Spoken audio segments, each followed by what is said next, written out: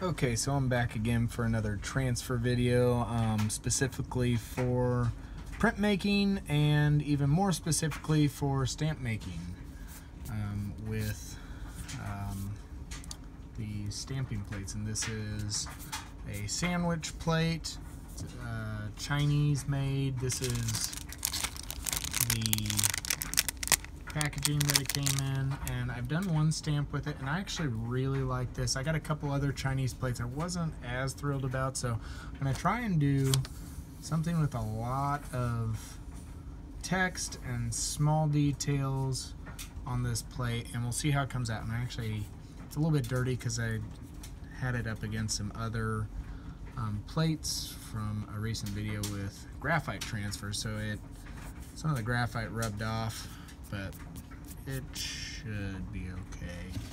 Um, I actually might want to clean that just a little bit first. Let's see if I can get some of that off really quick. Um, today the transfer that I'm going to be doing is a different type of transfer. So typically when I'm making a stamp, I will draw out my designs. Um, and I'll do a graphite transfer because it's just so easy and I don't have to deal with printing anything or anything like that so um, but if it's a really detailed design or it's something that somebody's really specific on what they want uh, I'll design it on the computer and uh, print it out okay? And this was done on a laser printer um, and typically uh, I my personal printer is an inkjet printer, so I'll show you how to um, transfer with that because it this this process only works if you have a laser printer. Um, and this I think is the easiest transfer process to do. Okay, so I'm gonna cut this out real quick and then I will show you. Ooh, that was not good.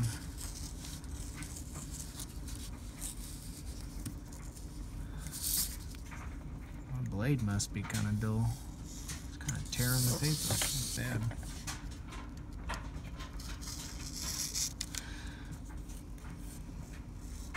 Hopefully I don't. There we go. Alright. Not perfect, but whatever. I don't care. Okay.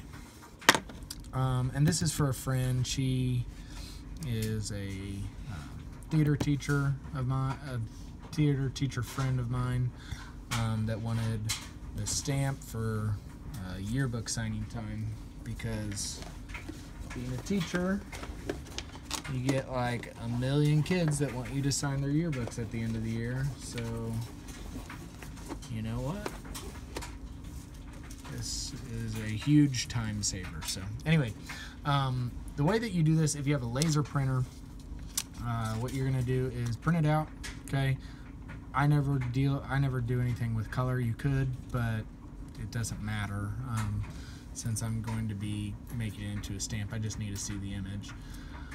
Um, so you'll print it out, cut it out, uh, and I try and cut it pretty close as well. I should have just used scissors, but uh, I try and cut it pretty close to the image as well. Uh, so that way I know how big it's going to be without cutting the actual image itself. I want to keep everything on there.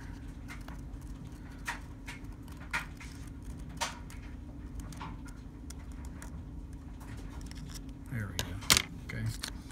Um, so what I'm going to do is I'm going to lay this face down on a plate that is clean, like this.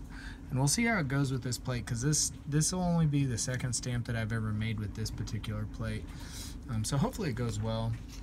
Um, but I liked it for the first one, so we'll, we'll just kind of see what happens. But anyway, get a cotton ball and um, just regular acetone nail polish remover.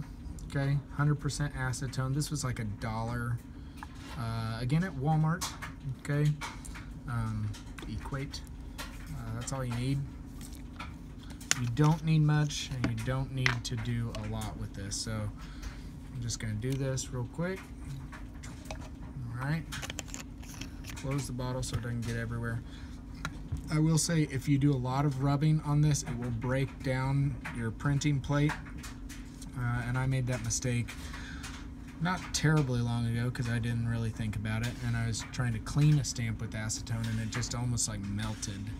Um, so I had to redo it, but that's all right. So anyway, you don't want to use this a lot. You don't want to rub it a lot. So I'm just going to go over it one time. Kind of firm pressure, not super hard. Like that. Okay. And you can even see the color on um, that cotton ball there. So let's see what we get.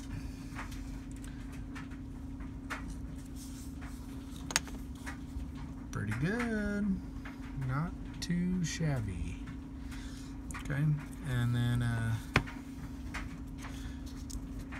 I always keep the actual image close by because there's some details on here that you still can't see on here real well. So like if you see right there above the eye in between the eye and the glasses, you can see a little bit of skin color, but you can't see it on the transfer. So I like to keep these things around just so I can get all those little details that you miss with the transfer. But it'll get almost everything really well. So anyway, that's about the easiest transfer you can do. You have to have a laser printer to do this.